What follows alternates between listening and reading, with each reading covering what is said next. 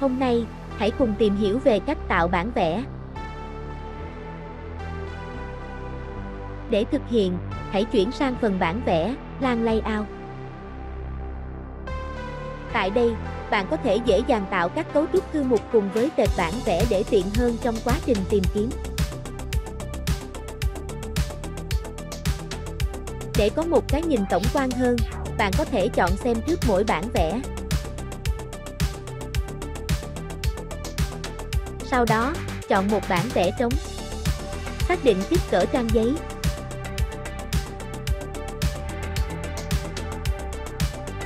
Khung bản vẽ được sử dụng.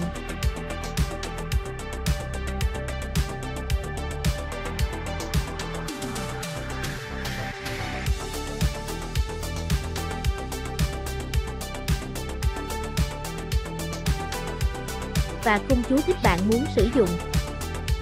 Đương nhiên, bạn cũng có thể tạo khung chú thích và tiêu đề bản vẽ riêng, sau đó lưu chúng tại đây. Chọn và trình bày nội dung bản vẽ.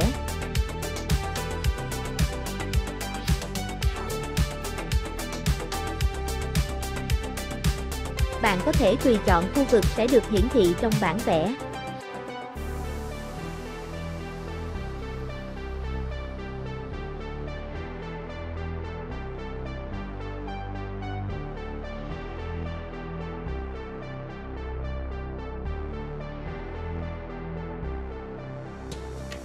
Mỗi cửa sổ bản vẽ đều có thể điều chỉnh, sao chép và thay đổi sau đó.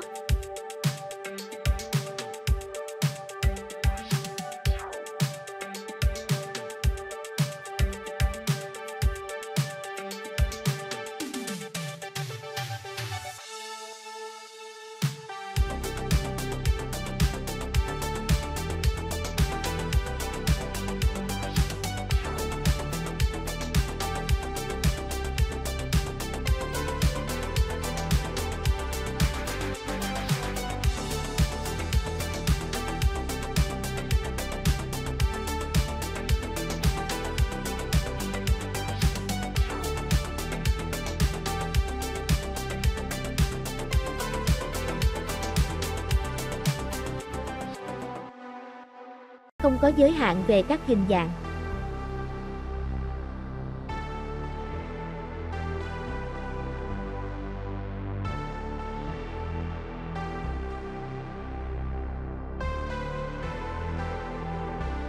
Bạn có thể chọn tính năng suất.